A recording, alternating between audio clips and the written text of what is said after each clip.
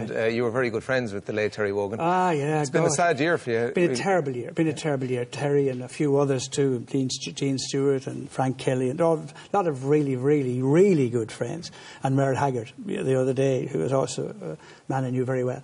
Um, and all of those people, it's just it's got to the age. You know, I've got to the age where I'm going to more funerals than I am Christmas. You know, it's yeah, just yeah, that's the age it comes. So it's part How of life. you, how did you meet Terry? I met Terry here, um, um, in, down in um, the GPO, right. not in 1916 now, but uh, down when we were at the, that's where we used to broadcast. Oh, I, that's yeah. where I began broadcasting. You, Yes. you probably weren't. No, you weren't. No, no, no, no. Uh, uh, at that stage. Thanks, but, Brian.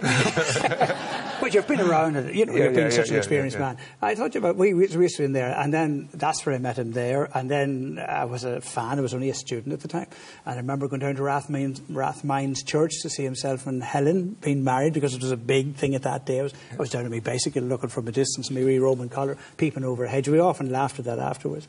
Um, and uh, then when I went over to England to do shows, I, I was on at Derek Jameson first, and then I, I, Terry was on television at that stage, and I used to go into him when I was over in London. We'd go in and have a chat in Shepherd's Bush where he'd do the programme, and we used to go down and stay with himself and Helen and the family uh, in their place.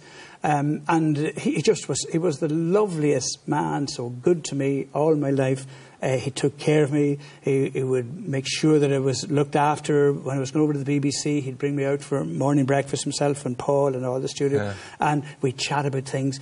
And he would, you know, he would always he would always tell you the right way to go about getting through to an English audience because it was a big thing. There was, and he built it up from about two million to ten to eight million. Yes. Chris has now 10 million. Um, and himself and Chris were great friends, and he recommended Chris for that job. Um, and When was the last time you spoke to Terry? Oh, the last. Well, I spoke to him often uh, uh, over the last year, but the last I spoke to him was just before he died. Uh,